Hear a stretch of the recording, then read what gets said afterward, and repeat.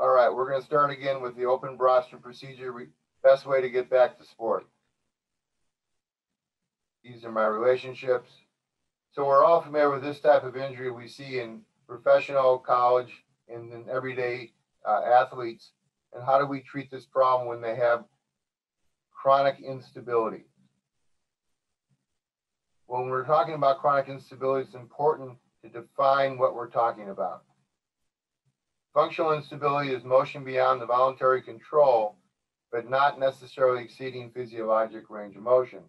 Most of those people will get better with the therapy that was previously beautifully described. When you have mechanical instability, motion beyond the normal physiologic limits of the ankle joint, you have increased anterolateral laxity, and those patients need surgery.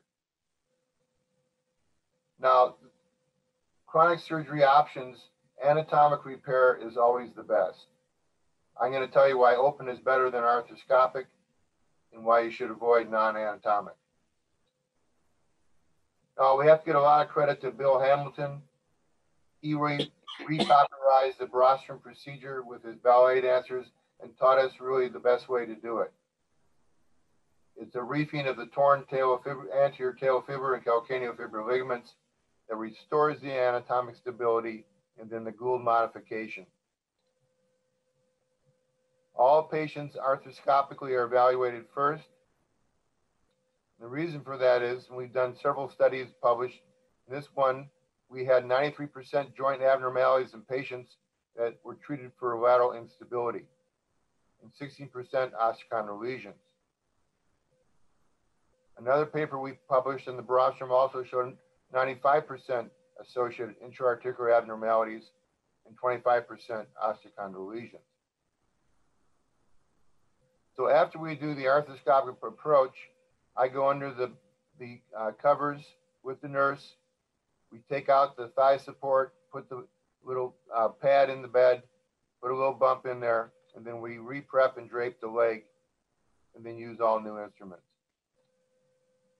Now, the options for doing a Brostrom procedure, you can reef the ligaments, leaving a cuff of tissue on the fibula. You can shorten the ligaments. You can drill a hole in the fibula, or you can use suture anchors. I like a longitudinal incision. I do not like the Ollier incision. The longitudinal incision allows you to extend it proximally and distally, particularly to treat peroneal associated problems.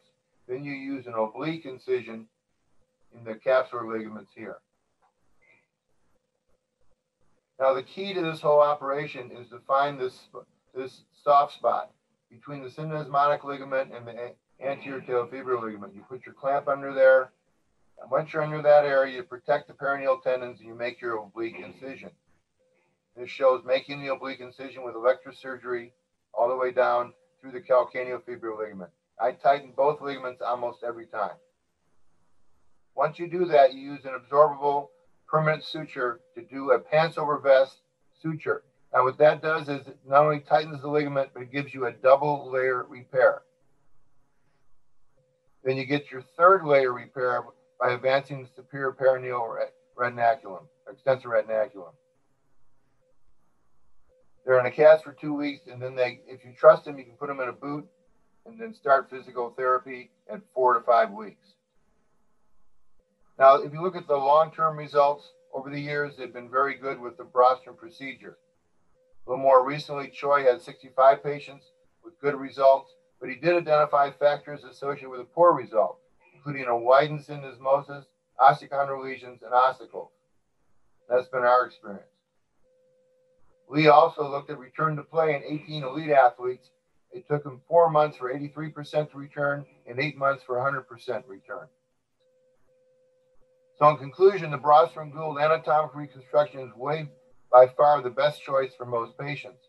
Occasionally, in certain patients, particularly revision surgery, you may have to augment your repair with a semitendinosus allograft. Now, regardless of the procedure you use, do not over tighten the repair and capture the ankle. Anatomic ankle motion must be maintained as much as possible. Thank you very much.